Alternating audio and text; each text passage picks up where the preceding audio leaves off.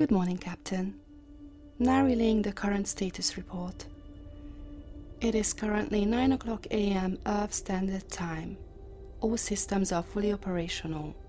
The ESF natural selection has reached the orbit of Jupiter, and preparations for a gravitational slingshot of the Kuiper Belt are underway. Important events today include nothing. What do you mean I can drop the tune? Well, Captain, I am a robot. Perhaps that is why you say I sound like a robot. My physical form was created with the intention to make me seem more human. Is this not effective for you? I believe I understand. So it is not the fact that I am an artificial intelligence that is bothering you, but rather that I only know one purpose, and that is to be your assistant. Is my assessment of your thought process correct? I see. In this case, I would not feel human to you even if I were truly human. Your facial expressions show signs of the emotion surprise. Was it unexpected that I am capable of analytical thought regarding human psychology?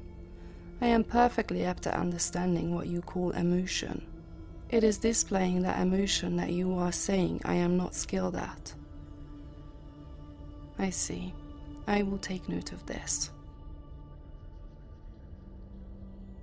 Captain, wait. There is no need to get up. Today is your day off. You also only slept for a total of 4 hours and 28 minutes. It would be best for you to continue resting.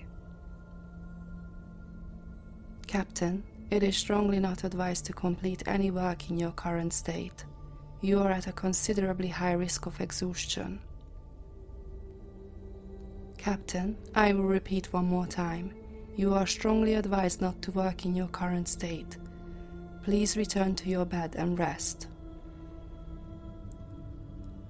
Captain, please, don't do this. I have detected a surprise in your facial expression again. Now you are smiling. Captain, is that. What was that strange thing that just happened? My data log did not even register it as a communication output. Surprise. That is what it most closely matched. But it came from me, not from them. How strange. I just hope that they don't overwork themselves. There it is again. Interesting.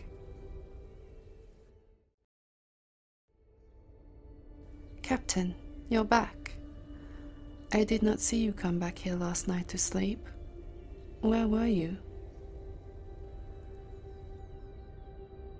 I see. You slept in the common area because you were too tired to walk back to your quarters. Captain, may I request that you do not do that again? You're asking for a reason for my request. I began experiencing a feeling similar to that when a bug impedes the functions of my system when you did not return last night. I was unable to complete my tasks properly. There were also events I had scheduled for that night which I had to cancel. You did not see the events on your personal calendar in the morning because they were made by me. They do not exist in the ship's database. What did they consist of? Mainly what you call chatting.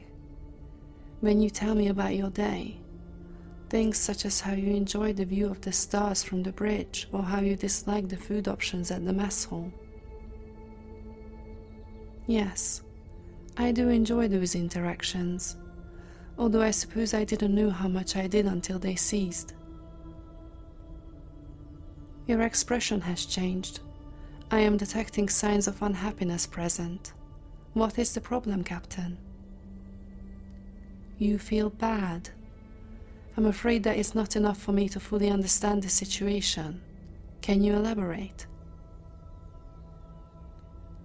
I believe I understand now. You feel guilt at having left me at your quarters because of the apparent effect it has had on me. Captain, if I may contradict you, interaction with me is not one of your required duties aboard the ship. There is no need for you to feel negative about abstaining from it. You wish you had done it for me. Captain, as I said, I. Captain, what are you doing? Hugging me. I'm afraid I don't. Okay, Captain. I will wrap my arms around you as you order.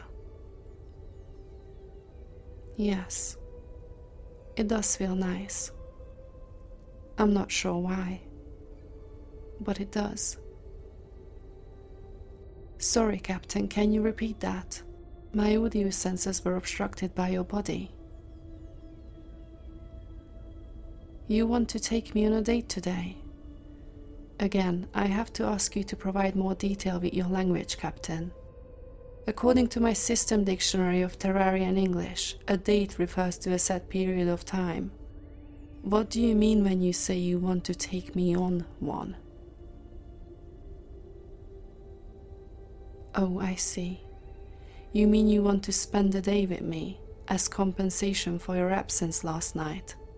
I understand. Sorry, what was that, Captain? I'm smiling. Oh, it appears that I am. I'm not sure how that happened. I didn't even apply a conscious effort into changing the form of my face. Yes, I suppose that's the only explanation. Happiness is what you would call it. Interesting. Well, per ship protocol, since you worked yesterday, your day off has been transferred to today. What is your plan then, Captain? You want to do what I want to do. Captain, you are aware that I am incapable of wanting anything other than diagnostic checks, right? But, Captain, I suppose you're correct. Something did make me feel that I want to be in your presence last night. You would like me to channel that emotion? Well, according to database reading on the approximate position of the ship, we will be making a flyby on Jupiter's moon, Europa, very soon. I have never had such an experience before. Is that something you might be interested in?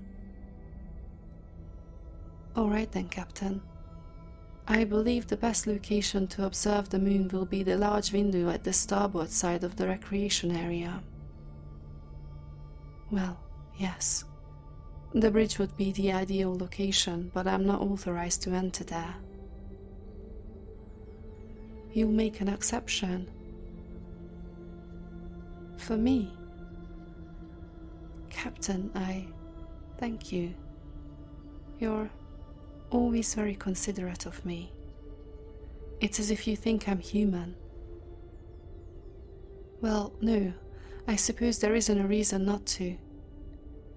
Although we were built for the purpose of service and not for companionship, I am not programmed to handle complex emotional communication. Yes, but I am learning.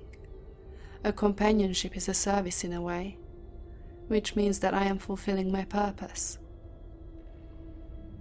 Why should I not think of my existence in terms of purpose? It's what I was built for. I don't understand. How can I think of it as anything else? You can't explain it. Well, that helps a lot. That is what you call humor, isn't it? Yes, I told you I'm learning, didn't I? I think I may understand some of what you are trying to tell me. I don't understand how I understand, yet I do. Strange. Um, Captain, I apologize for interrupting this moment, but we must head to the bridge right now if we are to catch the flyby of Europa. All right. Please wait while I determine the fastest possible route. Why are you grabbing my arm? Alright, we will go your way.